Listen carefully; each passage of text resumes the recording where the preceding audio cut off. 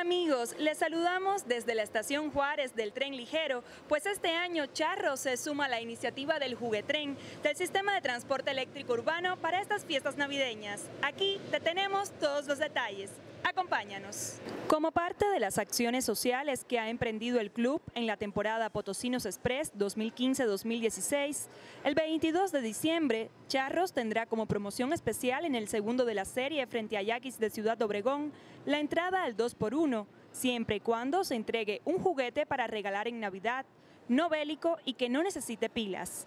Esta promoción está vigente solo en taquilla del estadio, donde ya pueden adquirirse los boletos para el 22 y ya comienza la recolección de juguetes.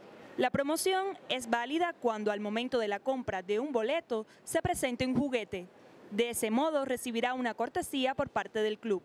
Lo recaudado será donado al juguetren que realiza cada año el sistema de tren eléctrico urbano.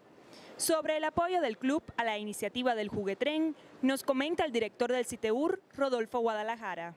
Es una iniciativa que inició hace 10 años, eh, por, incentivada por los trabajadores, desde juntar juguetes usados o nuevos, que no sean bélicos y que no sean de pilas, para poderlo donar a, los, a otros niños pues, que tienen necesidades igual que nosotros.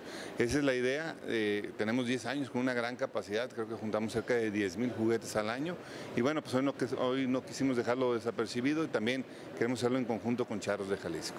Coincidimos en el mismo interés, que es poder donar juguetes a quien más lo necesitas, entonces en eso estamos celebrando un convenio eh, de voluntades sobre todo, gracias a la participación de Charros y poder juntar más esfuerzos. Al final de cuentas lo que queremos es juntar más, más, más juguetes entre Charros y obviamente Citeur y llegarle con ese gran regalo a más gente. Bueno, Charros también tiene una labor eh, similar, una labor, un gran interés social.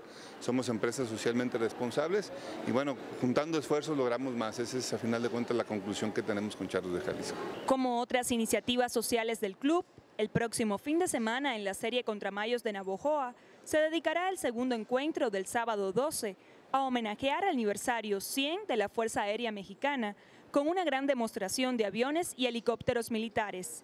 Asimismo, la serie será dedicada al DIF estatal, dependencia a la cual se le asignará una parte de lo recaudado en venta de entradas para casas hogar que administra el propio organismo. Y nos despedimos invitándolo a que se sume a nosotros a apoyar a la iniciativa del juguetren y done también un juguete en esta Navidad. Le esperamos.